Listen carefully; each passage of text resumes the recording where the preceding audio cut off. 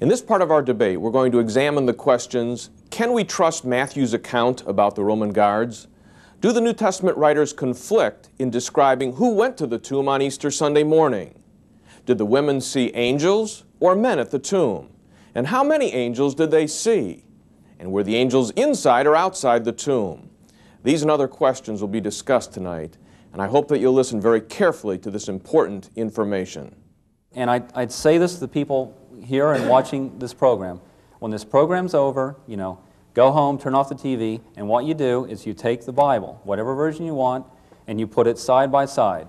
And that's all I ask. You take the last chapters of Matthew, Mark, Luke, and John, put them side by side, compare them, see what they say, and I believe if you have eyes to see, you will see that there are some incredible contradictions there which lead you to, to ask, did anyone really know what happened? Listen, I love it. That's exactly what people ought to do. And when they see that these various narrators are not presenting the identical stories, ask one question Are they complementary or are they contradictory? They will turn out to be as complementary as four witnesses on the stand to any traffic accident. And they point to the fact that you don't have collusion here. If these people all said exactly the same thing, my gosh, when I have somebody on the stand on the other side, and this guy says exactly the same thing as the previous witness, wonderful, I want to raise the contingency fee. I'm going to win because this was done by collusion. Right.